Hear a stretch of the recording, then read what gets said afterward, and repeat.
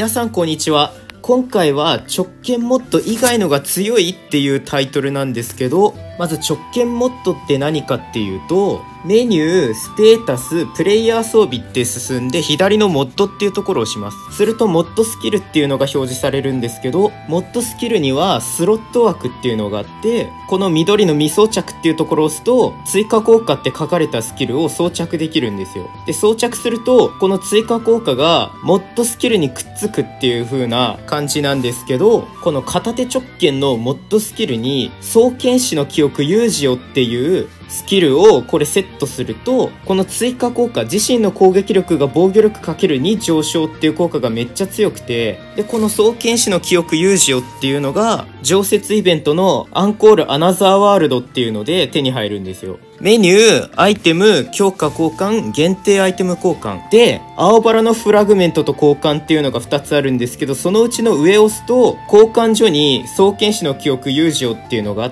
て、で、そのアンコールアナザーワールドっていうのを周回すると手に入るんですけど、左上メニュー右下イベント一覧。でどこかにアンコールアナザーワールド不思議な二人ってどっちかあるのでこれ周回してれば手に入るので。で周回して手に入ったこのイベントアイテム青バラのフラグメント。これを双剣士の記憶優勝と交換する。そうすればみんな高火力なモッドスキルが使えるようになるっていう話なんですけどこの追加効果っていうのが自身の攻撃力が防御力かける2上昇っていうものなんですけどこれって防御力が高いほど強いんですよ。でも最近出てくるボスって防御力低下デバフとかを使ってくる敵がほとんどで例えば最近出たこのピンク色のダロスクロスギガスカオスってやつはこのカオス透戦っていうやつで一番難易度が高いやつなんですけどカオス175って呼ばれるやつでやっぱり防御力低下デバフとか片手直剣のモッドスキルが効きにくいようになっていてまあ効きにくいけどこれ片手直剣のモッドスキルでやる人が多いと思うんですけど一つ前に出たこのカオス透滅戦のこのエクスキューショナーカオスってやつはもうこれ弱点属性がダーミズ属性ででこれ耐性が打属性水属性以外全部属性耐性ついててこれはブレイクするたびにどんどん耐性がマシになっていくんですけど、もうこれって直剣モッドじゃもう効かなくて、あんまり。で、これから直剣モッドが効かない相手が増えてくるんだったら、これ霧雨さんが作った SAOIF スキルレコードまとめっていうすごく便利なサイトなんですけど、これ皆さん使ってみてください。で、これアビリティでパワーライズ4っていうのがあるんですよ。アビリティ効果にそういうのがあって、進化強化限界突破しきると攻撃力が900上昇するんですよ。これ1個つけるだけで。で、その分デメリット効果で防御力が自分の低下してで最大 HP 上昇バフがある時に HP が減少するデメリットがあるんですけどこれ自分の防御力低下するので片手直剣のモッドスキルでは威力が下がるんですよでも片手直剣以外の武器ならこれすごく強くて、パワーライズ3っていう効果もあるんですよ。パワーライズ3っていう効果は攻撃力が800上昇する方で、進化強化限界突破しきれば。で、それを引いておいた方がいいんですけど、今ちょうどサチのバースデーオーダーが出てて、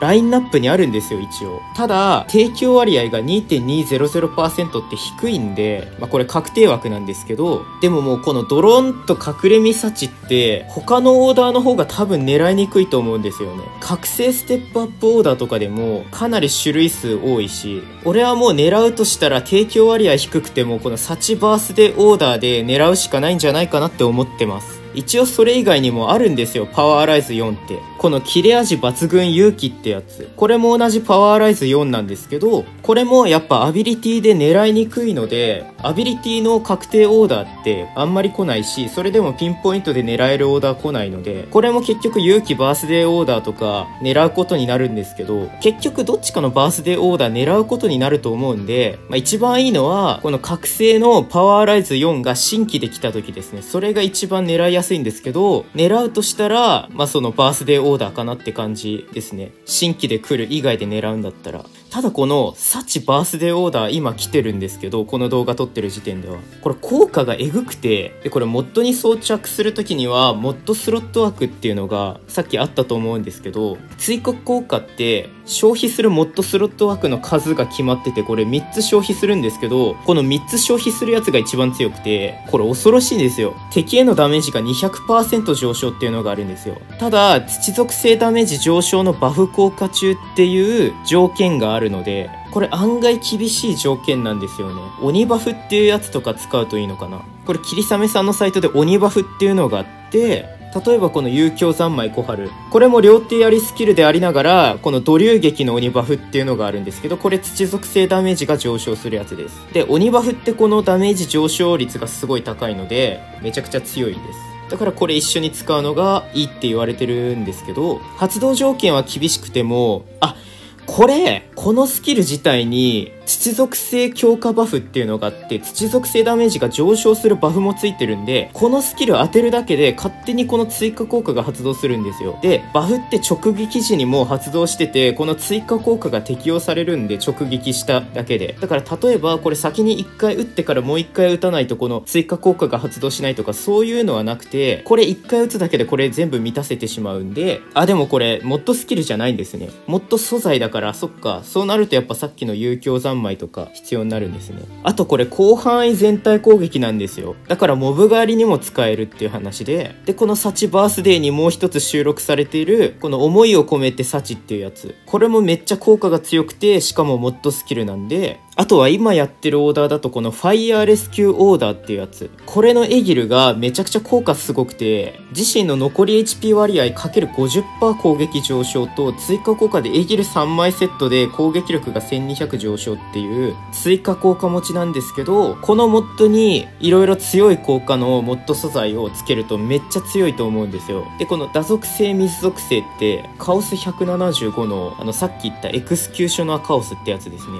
これダー水が弱点なので持っておくと周回にいいっていうのと75層フロアボスのスカルリーパーっていうやつが、これ総力戦っていうやつで、スカルリーパーっていうのを倒すと、まあ総力戦なんで倒せなくてもいいんですけど、スカルリーパーの弱点ってダーヒ属性なので、斧の強い追加効果とか持っておくとすごくいいので、で、他にも今やってるオーダーだと、とわなる時のオーダーっていうのがあるんですけど、この時アルゴって呼ばれてるやつですね。これが追加効果三角3つついてるんですよ。で、この状態以上毒、やけけど、出血、凍傷ってそれぞれスタック99にすると、それぞれのスタックにつき攻撃力が上昇するので、まあ、これ自体はモッドスキルじゃなくてモッド素材になるんですけど、これ後々めちゃくちゃ使えるようになるんじゃないかって睨んでます。っていうか、今の時点でも、まあ、使える場面はあるんですけど、すごい使える場面がね。それ言っちゃうとちょっと、まあ、後が怖いので、今ここじゃ言わないんですけど、今言ったようなスキルを持ってれば、直剣もっとなくても、初心者なら火力出すことも可能なんじゃないかなって思います。まあさすがに、色々スキル揃ってないと多分片手直剣のモッドスキルみたいに威力出ないと思うんですけど、まあ初心者だったら、スキルを揃えるのが大変なので、直剣モッドで弱い敵とか、まあルクス周回とカオス155まではいけると思うんですけど、ルクス周回っていうのは、この装備可能レベル141のルクスインテグラル武器ってやつなんですけど、40層、47層、50層のどれかのフロアボスを周回して作るやつなんですけど、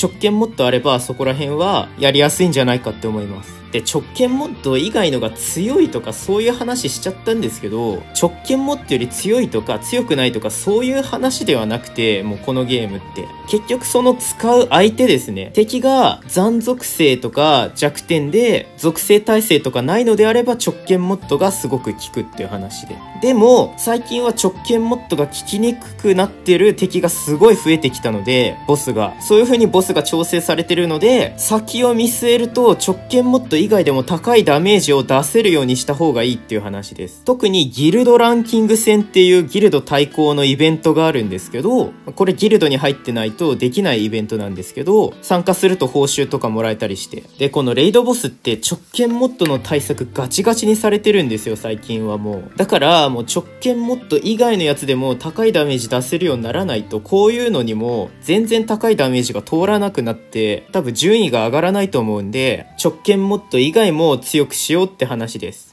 で、この最強のモッド素材とか、めっちゃ強いモッドとか、いっぱい出てるんですけど、これ提供割合低いから、引くのやめようかなっていう人いるんですよ。でも俺の考えなんですけど、あくまで俺の考えなんですけど、いずれ多分もう直径モッド以外のが必要になってくるので、提供割合低くても引かざるを得なくなるんじゃないかなって思ってます。むしろ今引いておかないとこれからさらに入手困難になるんじゃないかなって